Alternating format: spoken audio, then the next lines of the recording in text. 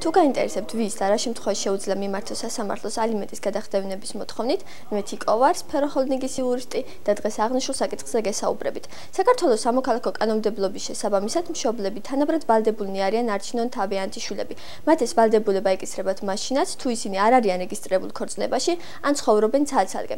შესაბამისად, ის მოსაზრება, რომ ალიმენტის გადახდის ვალდებულება ეკისრება მხოლოდ რეგისტრირებულ ქორწინებაში დაბადებული ბავშვის მამას, რა თქმა უნდა, არასწორია.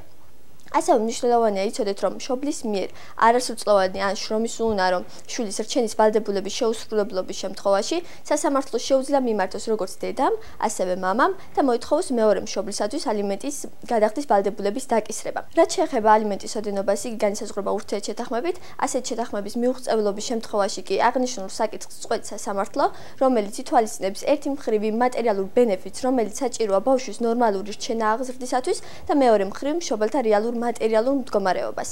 იმ შემთხვევაში თუ აღნიშნული საკითხის გადაწყვეტის შემდგომ შეიცვალა უკვე მშობელთა მატერიალური მდგომარეობა, მაშინ სასამართლოს უფლება აქვს ერთ-ერთი მშობლის სარჩელით მომართვენობის შემთხვევაში გაზარდოს ან შეამციროს ალიმენტის ოდენობა. ასევე გახსოვდეთ, რომ ალიმენტის გადახდევინების სარჩელით სასამართლოსათვის მიმართვის შემთხვევაში თქვენ თავისუფლდებით სახელმწიფო ბაჟის გადახდის ვალდებულებისაგან.